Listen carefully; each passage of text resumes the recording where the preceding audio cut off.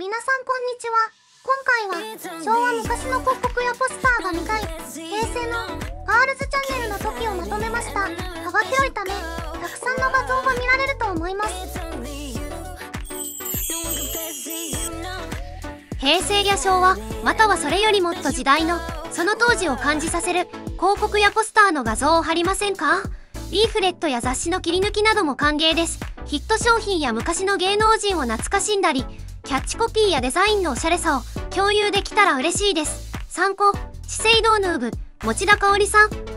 やっぱり平成はポップが可愛いよな。アラフォー世代に刺さるファッションメイクだよね。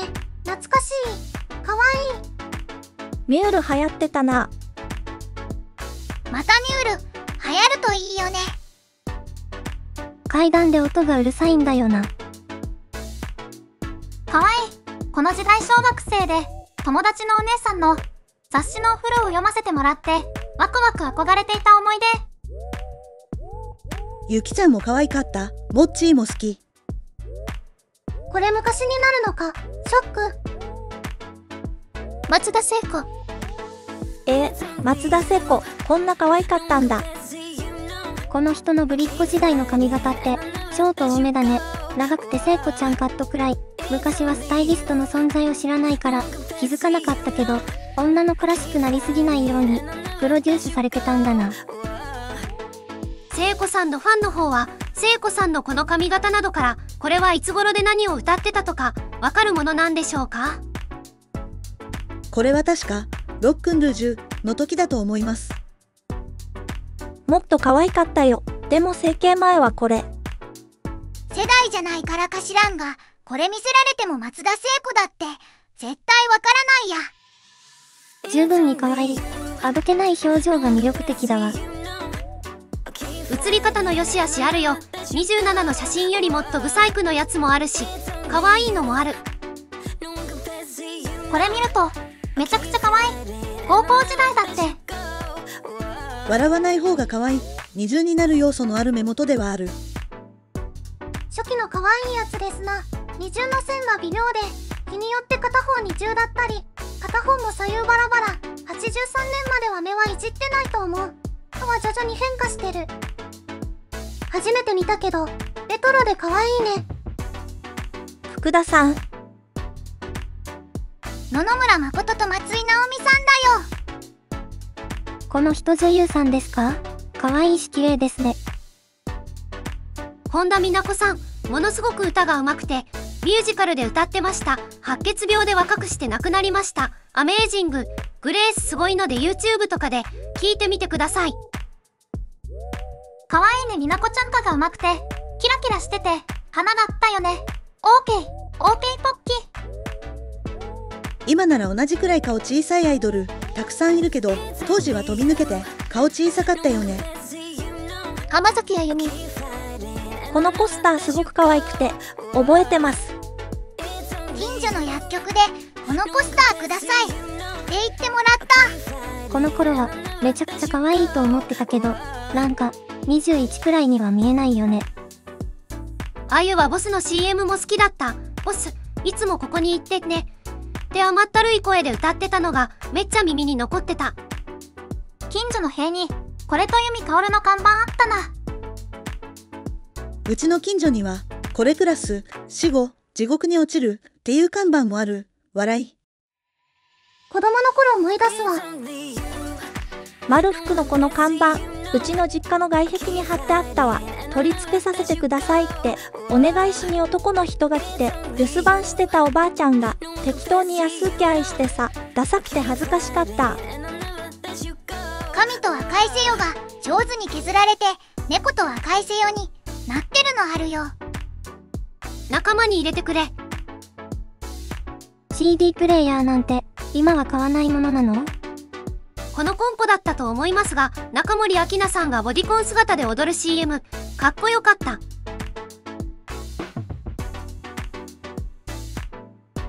アキナはいっぱい出てたよ。伊藤美咲。時代を感じないな。美人。ネイルじゃなくて、ネイルなんだ。え、怖い怖い怖い。このメイクを見てなんとなく、霊子像の絵を思い出した。普通に精神薬が市販で買えたってこと？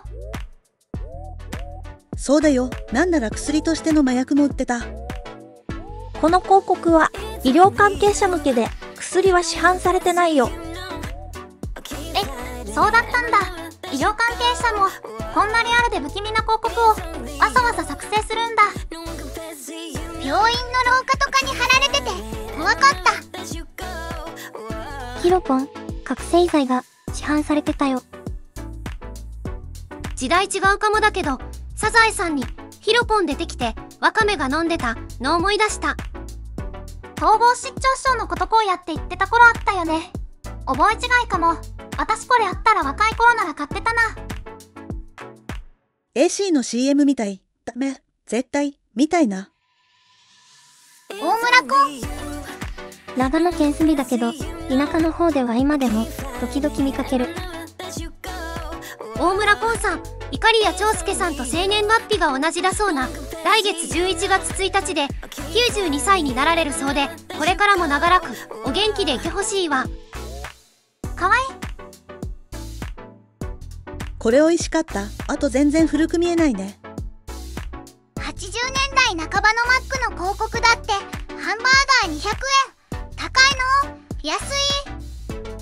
自販機の缶ジュースが100円だったような、それに比べると高くないと思う。変態が作ったのかな？おじさん種だだ漏れすぎてわらこの変態ワードにつられて買ったとして、そのカセットプレイヤーは、聖子ちゃんの胸の中に行くわけではない。しかし何はともあれ、ベロが受けた時代なので、これでよかったんだな。このくらいが標準だったんだよその後もおじさん公文として生き残ってるよねこれの赤を持ってた。懐かしい。日本初のヌードポスターと90歳になったモデル本人。すげえ初見こんなんどっから見つけてくるんだ笑いすごい。当時は相当センセーショナルだっただろうね。品のあるお顔だわ。お綺麗な方ですね。この女性はこのポスターが原因で感動されたらしいこの時代で、ここまで肌を露出するなんて、両親としては衝撃的だったでしょうね。おばあちゃんになっても可愛いね。しかし、ワインのポスターでハンナになる意味って話題作りかな？日本髪が時代だなおとしめされても可愛い天然育ち懐かしい。多分桃の天然水とかも出てた時期かね。眉毛が90年代だわ今もこういう眉の40代いるよね。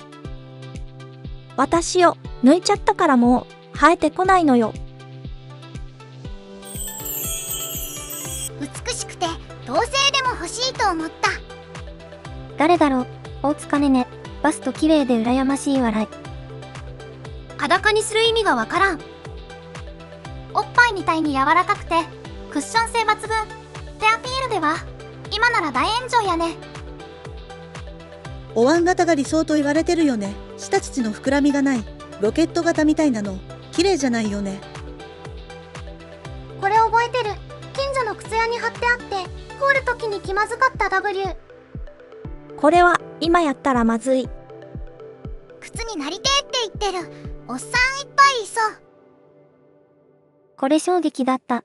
レネはペチャだと思ってたしわら。お母さんが、誰このオカメって言ってたのも衝撃だった。可愛いから芸能界で活躍してるんじゃないのみたいな、価値観おかしくなるポスターだった W。これを打つかねねの前は、キムタクが広告キャラクターだったので、キムタクを超えるインパクトを、ということで、こんなことになったと、聞いたことがある。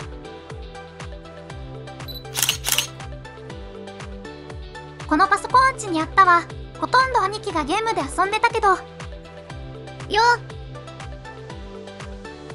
ノンノモデルの頃のりょうちゃん。りょうちゃんに憧れて、レシンテのリック買ったわ。落ちないリックで評判になったけど、今思うと、ポソポソもろもろ、落ちてくるリックだったな。クールでかっこいいこの時代に化粧できる年齢だったらよかったな。まだ子供だった。この頃、早朝の表参道でガードレールに腰掛けてる、よう見かけたんだけど、とんでもなく綺麗だったわ。量産のいいところが輝いてるポスターですね。ノリか？骨格ストレートってやつだね。腰の位置の交差よ。本当にスタイルいいね。健康的でいやらしさがないのもいいこれよく見るけど合成かと思うほど顔が小さくて手足が長いよね遠近感おかしくなる顔小さい。にちゃんのアスキーアートみたい。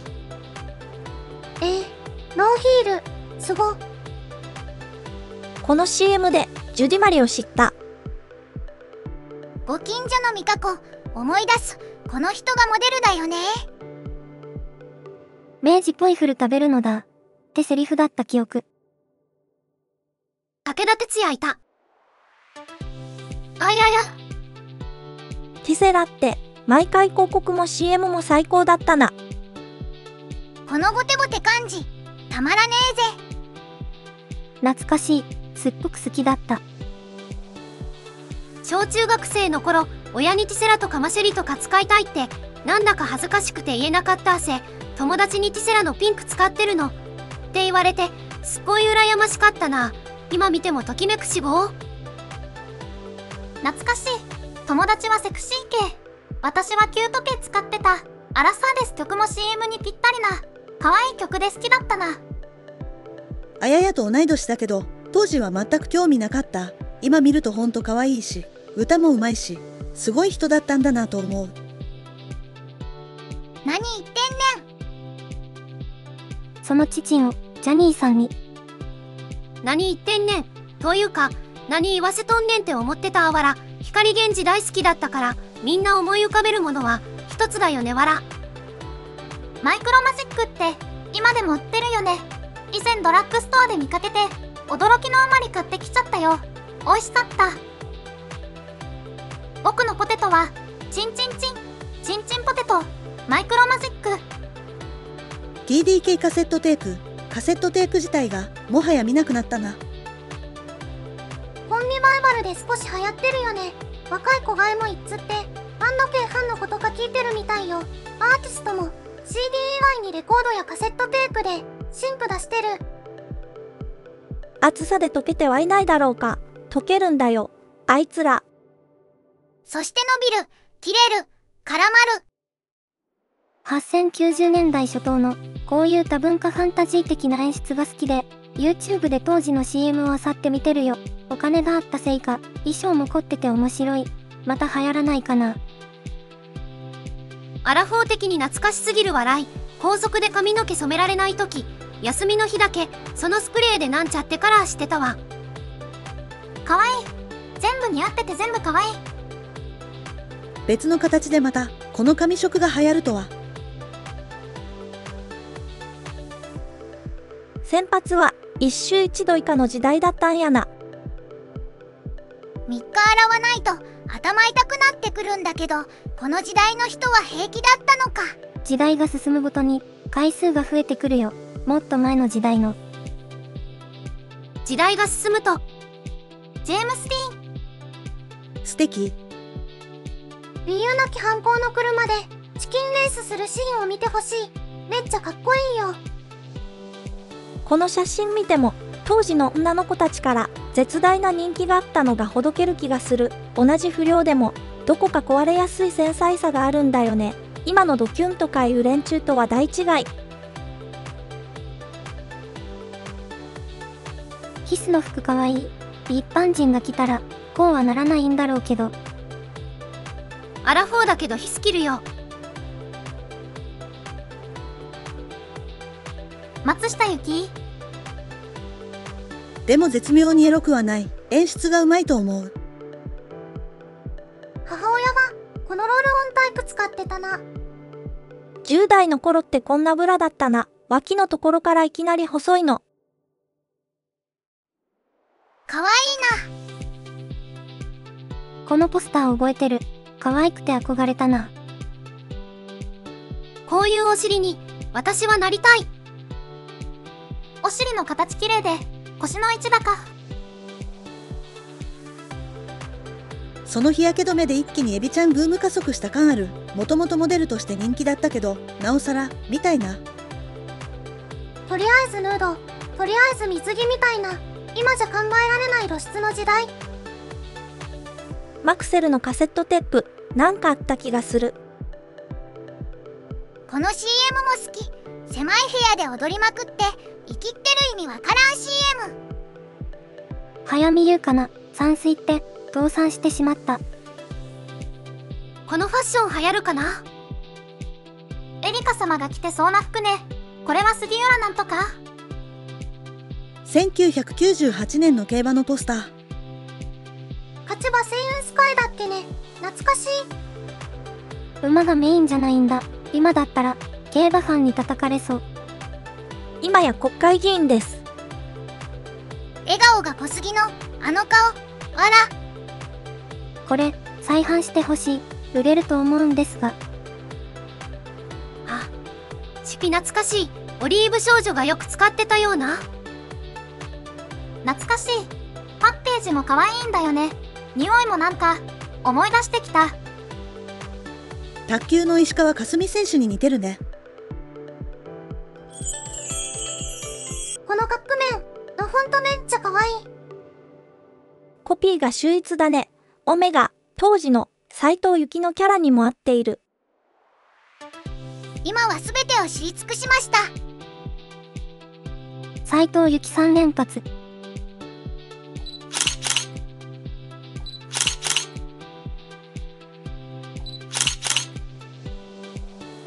これも追加で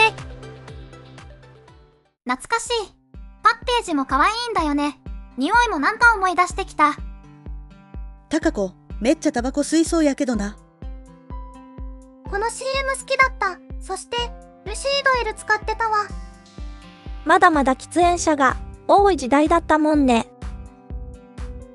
これはビタミン剤じゃ疲労コント取るからヒロコン。昭和初期の少し不気味？な広告って、今見ると少し面白いわら。私が印象に残っている広告はこれだな。何か面白いわらわら。これ決まってるでしょわら確かエレカシの歌が CM で流れていたキャッチフレーズもいい。ラジオライフのネタじゃん。ネタだと思うけど使い方さえ決して間違わなければ最強のツールだよねただし一度でマチコルと電話番号 W。37564みなエコは？こういう物議を醸しそうな昭和の怖い広告、大好きわら。スーパーリックで攻めてこい別にキムタクファンではないけど、このキャッチコピーはめっちゃ覚えてる。方向性だった口紅買いに行きました W このくらいの時期って、ハリウッドとかフランスパリとかが憧れって感じなのかな？岡田由紀子。うわこれなんとなく覚えてる胸がキュッとなった。素敵ですよね。本当になんでこんなの？履かされてんだろう。パンツ2枚履いてるのと同じだよね辛かったわハミパンと買ったよね。ブルマの裾からパンツが出てしまう。ほんとふざけてたわ。私が体育嫌いな一番の理由がブルマだったわ恥ずかしくて仕方がなかった下着や生理用品や毛がはみ出してないかとか、体型も変わる思春期に、こんなもん着せやがって、いろいろ気になって思いっきり動けないし、逆に動きにくかったわ。キョンキョンが CM やるとどんな商品でも3割売り上げ上がると言われていた。ただ出る数が多い女王ではなく数字も出してるのはすごい。資生堂は昔から女性を脱がすポスター多かったんだね。上司がわらわら、撮影現場に来る会社ね。資生堂ってそんな会社なんだ。その時だけなぜかたくさんの男の人、多分上層部であろう、20人くらいの社員の人たちがスタジオに来て、裸だから撮影中は見られたくないと伝えたけれども、写真を確認しなくてはならないからという理由で、結局、仕事だからと拒否できないんだよという理由で、たくさんの男性に裸を見られる環境の中で、撮影を強いられたことがあった。広末さんに似ていると思うのは私だけ。当時から広末さんは、小酒に似てると言われてた。絵から2段目の右端スキードワゴンの小沢さんに似てる気がする名字同じだからってわけじゃないけどスピードが、ホワイトラブ歌ってたやつかな。懐かしいな。ちょうど今ぐらいの時期じゃなかった。当時スピードはもう売れてたけど、CM 見た時、この歌はかなり売れるなとすぐ思った。カシオのアイライナーとマスカラマジで落ちなさすぎて苦労した W わかる。マスカラはマジでセメント。なんか昔のメイクとか、ファッションの方が、見ててワクワクするのはなんでだろモモコウサギの耳になりたい。あんだって？よく、チセブンに広告載ってたな。オリーブにも乗ってた気がする。オリーブ少女だった姉が愛用してた。香りが強いんだよねオング、懐かしすぎて泣ける。顎出すなう。自転車と顎は何か関係あるの？慣用句の顎を出すと欠けてるんでしょ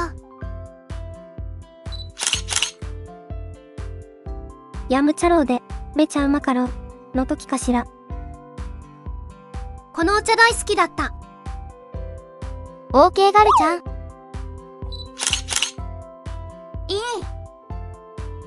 素敵すぎ。トム最高この CM でチャラの優しい気持ちが流れてたよね確か CM 自体もおしゃれで素敵だったアンジェラ今もモデルさんとして活躍してる。この CM お兄ちゃんのユアンと出演してたね。懐かしい。部活で大好きな先輩に、いい匂いするって言われて、胸キュンした思い出、甘酸っぱ。エルセリエで化粧品デビューしたよ。可愛かった。なんかパウダーみたいなのが入ってて、振ってから使うんだっけ？違ったかな？こういう感じの顔と化粧が好き今では古いのかな？この時の娘、みんな可愛すぎる。青春時代だから、思い出補正は言ってるかもだけどわら、みんな個性あって、キャラ分かれてるのもいい。松浦や午後の紅茶めちゃくちゃ綺麗だね。高校生の時水木有沙が大好きで、メニコンのコンタクト買った。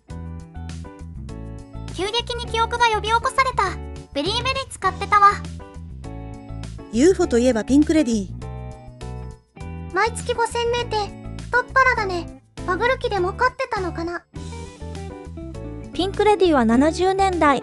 バブルより前だけど、好景気に向かって、まっしぐらな時期よね。昔の UFO ってパッケージの上に印刷された紙が載っていたんだよね可愛い。やばこのライブよかった当たった人いる言ったよ大阪。歌は迫力があって、世界に引き込まれ、MC は可愛くて至福の時間だった。この細すぎないスタイル素晴らしいねハイティーンブギより前、中1でこの大人っぽさ、今はハイチュウのグリーンアップル発売中止になったよね。美味しかったのに。比叡武田久美子さんってもう中学生で武田久美子さん感を醸し出してるんだエドウィンの CM がよく流れてて、ブラッド・ピットが、ポー・マリーソーンって弾き語りしてたの、めっちゃ覚えてる。おばが CM カンナが、ブラキ様って、キャッキャしてたのもめっちゃ覚えてる。メイク魂に火をつけろ。小学生の時だったな。すごい覚えてる。真ん中の人の顔未だに一番好き超整ってる何回名前くくっても忘れるわらケリーちゃんは一回も綺麗と思ったことないめっちゃ出てたよねラルクか？ワッカイ。うちの一番古いプリンターこれだったわなんかバンドの人シール貼ってあったけどこの人たちだわ覚えてる。最後に、サービス、サービスって胸寄せるんだよね。今ならクレーム来たそう W。ピエヌ懐かしいトミーの曲も可愛かった今は作品ごと封印扱いされているので、かなりレアかも。1969年版ムーミンの砂付近。キムタクより伊藤英明が好きだった。瓶の容器懐かしい飲み口が大きいのが何か良いよね。松山千春コカ・コーラふさふさじゃん W。可愛かったんだね。ポスター持ってた笑い THS のポスター、菅野美穂。みなみのちゃんかわいい。このバイオフィットの技術が後のリップモンスターにつながってるやっぱり昔もかっこよかった。ちょっとリーフ味を感じる広角かなピヌのポスター。左が梅宮アンナ。右がジェイミー・ロン。これそれ、私の青春時代、ど真ん中柄。瀬戸朝香のフロッピーディスクのポスタイカってどういうこと？バカとかアホみたいな罵倒する言い方で昔はタコとも言ってたからその流れからのイカかなとこのタコうるせえイカみたいな言い方聞かなくなったね。ガヤリースオレンジ。めちゃくちゃ可愛い。小学生中学生の頃は男子がみんな鈴木亜美大好きだったヤンキーっぽい男子は浜崎あゆみ派だった伊藤美咲このエロスなルージュとか、ボインナリップ？とか、なんとなく覚えてる。ー。松原千明さん。1990年山口聡子さん伊勢丹。ガチさん今思うとこのサイズで開けたらもうふふた閉められないリン不便すぎるな吉川ひなの。このテレカ持ってます坂井真紀さんだっけ可愛かったな。このシャンプー買った。チャング。一式さえものすごく美少女だったな当時のポカリの CM って見ただけで懐かしさがこみ上げてくる。ザードの曲も CM に合ってた。水木有沙のレナウンスコレーってブランドの CM 口を尖らせてるのは口笛を吹いているからですお金よりも時間っていうコピーだったけど私は両方大好きです W 懐かしい。全種飲んだわ。瓶を部屋に並べてる人もいたな。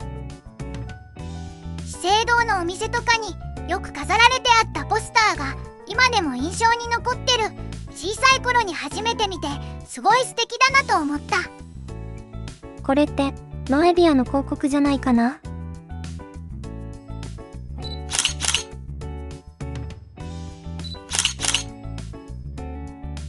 外人さんが多いのも昔の広告の特徴だよね。今、CM で外人さんなんてほとんど使ってない。令和になっても全く変わってないんですがダサい W けど、そのダサさが味 W。マイラバ未だにアイスボックス食べるときに脳内にマイラバのアリスが流れてしまうアラフォー。大猛烈小川ローザさんだね。最初ハーフの人なのかなと思っていたけど、実は純粋な日本人だった。以前クイズノーベル賞にローザさんが出演した時に、そういうこと、純粋な日本人だということ、をおっしゃっていた。チャンディーシャン。TM ネットワークマクセルの買ったらそのままこのパッケージがもらえたんですよね。アラフェフ羨ましい。30歳。昭和はこんな家電も需要があったのか。田舎の本家あるあるじゃないかな。農家じゃないけどうちにあったよわら。ロゴが餅みたいで可愛い。今でもうちの実家はもっと後継機種だけどあるよ。家で作った餅米で正月は餅つく臼と杵でやるのは外では雪で寒いしパフォーマンスその餅つき機は知らないけど、昭和特有の、その渋いカーキ色にはめちゃくちゃ見覚えあるわ。お米保存する容器とか、冷蔵庫とかそのカラーだった。同じやつ？と思ったらメーカーが違うのね炊飯器もね祖母の家で、ずっと現役で使えたオーブンレンジも、その色だったわ。桑田佳祐こんなこともやってたのね青木恵美さん、80年代のアイスたまたま某アーティストの映像の番組に挟まってて思わずスクショしたやつアグネス、ラム。当時は全くわからなかったが、今見ると可愛い。ともちゃんの桃天の広告のシールそういや中学校に上がるとき、時計を買ってもらうのが、昭和時代のお約束だった。懐かしい W 当時小学生で吉川ひなのってめちゃくちゃ可愛いお姉さんだなって思ってたあとポッキーの CM でポッキーをミルクティーにくるくる浸して食べるみたいなやつがあった気がする。何かいろんな組み合わせがあった記憶。あ猫目メイク時代の。フカピョンかわい。い私離れ目なのに。フカピョンの真似してメスリ重めのメイクしてたなもう10年以上経ってる。年食っただけの女児なのでキラキラしたものにときめいてしまうがっちりマンデーで、おじさん二人が話し合って、セボンスターが生まれていることを知った。私もセボンスターでキラキラ身につけて、お姫様になってたわ。今は200円なのね。ベキちゃんとコカ・コーラってアメリカンダイナーっぽくてめちゃくちゃおしゃれ宮崎よしこ声よ。だがそれがいい。味が想像つかない植物性高級腎臓バター。なんか怖い。絵も怖い。心臓バター？って思ったけどマーガリンかでも卵マーガリンって響きがこってりしてて美味しそう腎臓バターわら、女の子のバター、決めてる感わら。OK ガルちゃん。怪しい。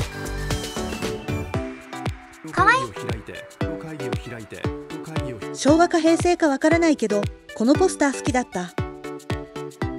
シティポップって単語がパッと浮かんだ。我々からしたら、ちっともエモくないけど、10年経ってるから、小中学生からしたら懐かしいんだろうな W。ブルーダイヤしか知らないけどなるほど面白そう。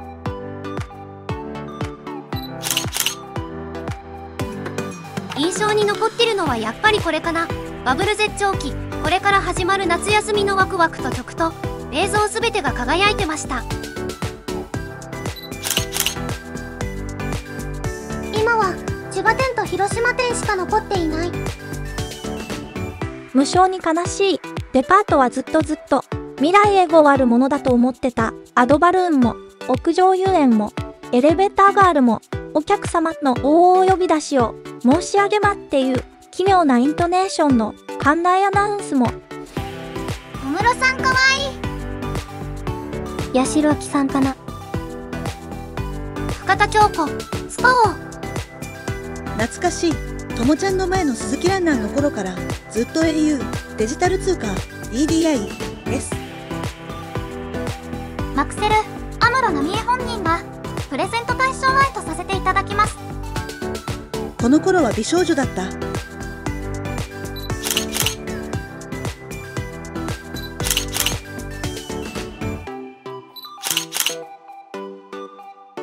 ともちゃん小室哲也、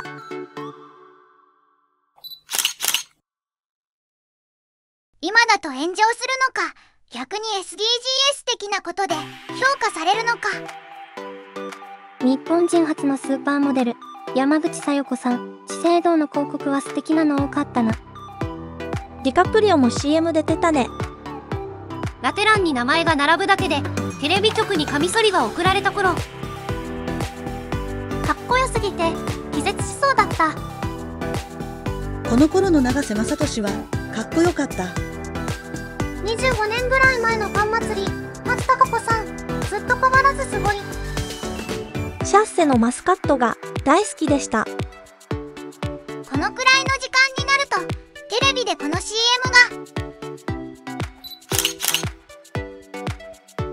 が70年代の大学キャンパスのつもりか？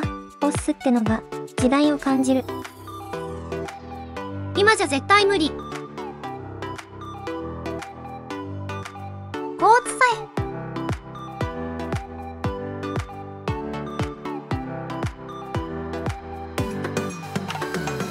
精神病の広告って無駄にセンスがいいんだな。えつい最近のだけど一応義理編成かなそれともすでに令和突入してたっけ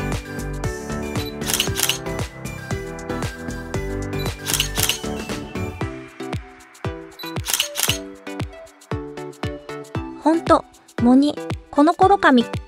メンバーも増やさずこのままが良かったかな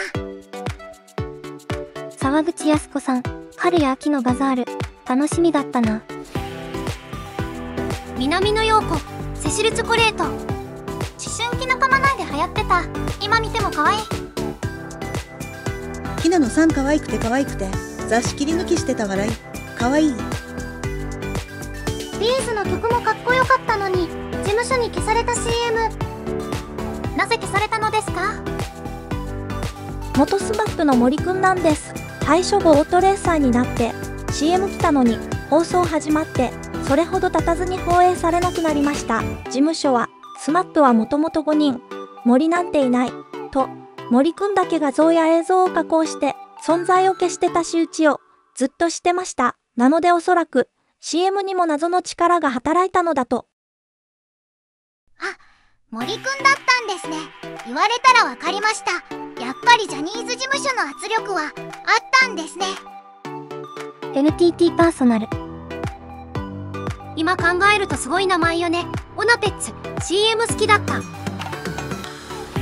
懐かしい。このリップグロス。カバンの中で蓋が開いてグロスでデロデロになってた笑いあなたも私もポッキー、あやや、仲間由紀恵、柴咲コウ、石原さとみすごい豪華な顔ぶれ。キットカットの宮沢りえと極みスタンククラブ、確か1回500円だったはず。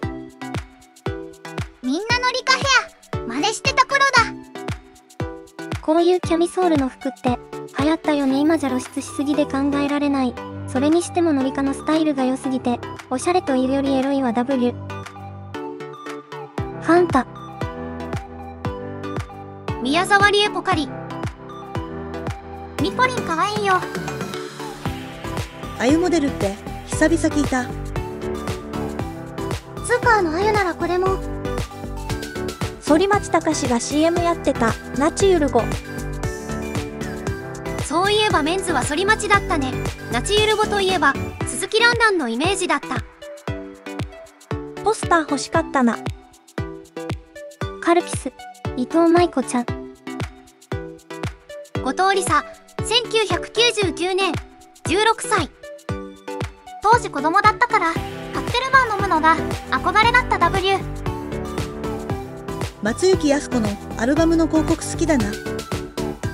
松雪靖子は好きだけど、この広告は下品柄。かっこよかった。アムロちゃん。愛し合ってるならミックスしてなぜ悪い？この胸元にチラ見えしてる。ショッキングピンクのスパンコールとか。手首にビーズのブレスレットザラザラ重ねてるのとか。すんごい懐かしい。アラフォー。カセットテープもだけど、ビデオテープももう、今の子供知らないかもだね。こういう広告もあり1985年のスーパーマリオブラザーズ手書きっぽいマリオのイラストが味があって可愛い W 篠原涼子が、軍勢のメンズラインの、イメがしてた時。これファンシー好きな人に刺さらないかなマックス外形系死亡な時代デジカメ全盛期かな。37歳なんだけどこのスピードのリセの広告リアルタイムに雑誌で見かけてた記憶があります。そんな昔でもないかな？ああ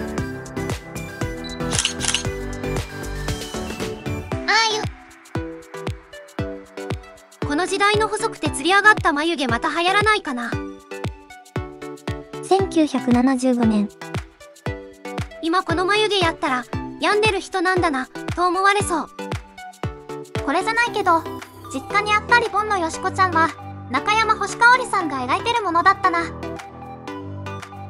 矢吹玲子さんって中山星香織さんの別名義なのね。初めて知ったよ。すごい昭和感。